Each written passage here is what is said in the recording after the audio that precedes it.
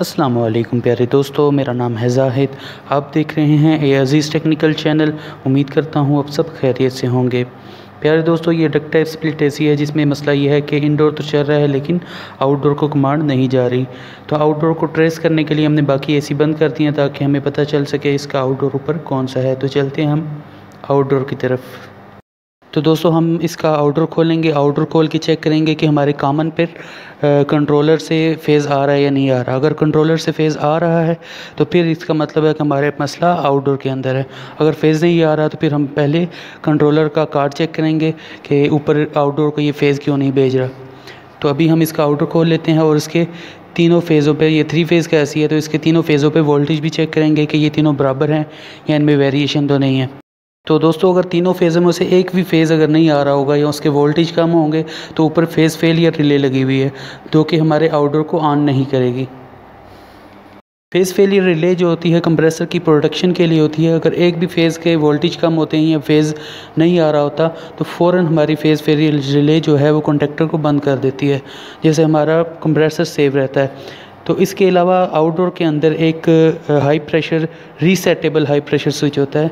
अगर किसी भी वजह से कंप्रेसर का हेड प्रेशर बढ़ता है ये ये वाला हाई प्रेशर स्विच है जो कि डिस्कनेक्ट हो जाता है। इसके ऊपर रेड कलर का पुश बटन दिया हुआ है।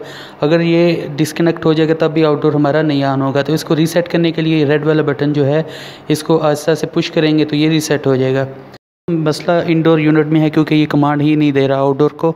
इसकी कामन पर फ़ेज़ नहीं जा रहा। तो हम इसके कार्ड खोल के चेक करेंगे कि ये आउटडोर को क्यों नहीं ऑन कर रहा। तो ये एक टक टाइप स्प्लिट एसी है। तो सेफ्टी के लिए हम पावर का बटन बंद करने के बाद इसके पैनल को खोलेंगे और चेक करेंगे कि इसमें क्या मसला है। ये आउटडोर को क्यों नहीं ऑन कर रहा।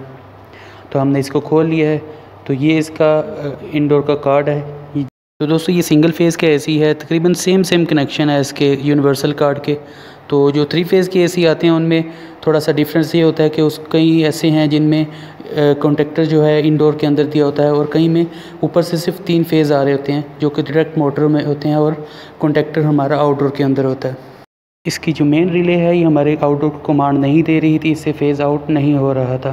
तो इसमें जो मसला है, वो कोयल सेंसर का था कोयल सेंसर का जैक लूज़ था, लेकिन उसके लिए इसको एरर देना चाहिए था, लेकिन डिस्प्ले पे कोई एरर शो नहीं हो रहा था। तो अभी यह है कि इसको प्रेस करके अच्छे से लगाया तो अभी फाइनली हमारा आउटडोर भी ऑन हो चुका होगा क्योंकि फ़ेज़ ऊपर जाना शुरू हो चुका है। तो दोस्तों, इसके सेक्शन के फ्लेयर नट में लीकेज भी थी जिसको हमने रिपेयर कर दिया और अभी इसमें गैस चार्ज कर रहे हैं। तो उम्मीद करता हूँ दोस्तों, आपको वीडियो अच्छी लगी होगी। अगर अच्छी लगी है तो इसको लाइक करें। अगर चैनल को अभी तक आपने सब्सक्राइब नहीं किया तो काइंडली इसको सब्सक्राइब करें। तो दोस्तों, इस यूनिट में स्क्रॉल कंप्रेसर है, जिस वजह से हम इसमें लिक्विड चार्ज कर रहे हैं। जहाँ पे स्क्रॉल कंप्रेसर होता है तो अब ज़्यादा बेस्ट है, आप उसमें लिक्विड ही चार्ज करें। कि वेपर भी चार्ज करने में कोई प्रॉब्लम नहीं है, लेकिन उसमें चांसेस होते हैं कि कंप्रेसर इसका बाईपास हो जाता है। ड्रायर फ़िल्टर को चेक करने के लिए सबसे बेस्ट तरीका ये है कि आप इनलेट और आउटलेट पे इसका टेम्परेचर चेक करें। अगर ड्रायर फ़िल्टर की एक तरफ़ से ठंडा है और दूसरी तरफ़ से गर्म है तो आपका ड्रायर फ़िल्टर ब्लॉक हो सकता है। तो आप उसको रिप्लेस करेंगे। बशर्ते कि यूनिट के अंदर गैस है। अगर गैस है और यूनिट चल रहा है तो आप इस तरीके से फ़िल्टर को चेक कर सकते हैं। तो उम्मीद करता हूँ दोस्तों, आपको वीडियो अच्छी लगी होगी। चैनल को सब्सक्राइब करना मत भूलिएगा। दुआओं में याद रखिएगा। अल्लाह हाफिज़।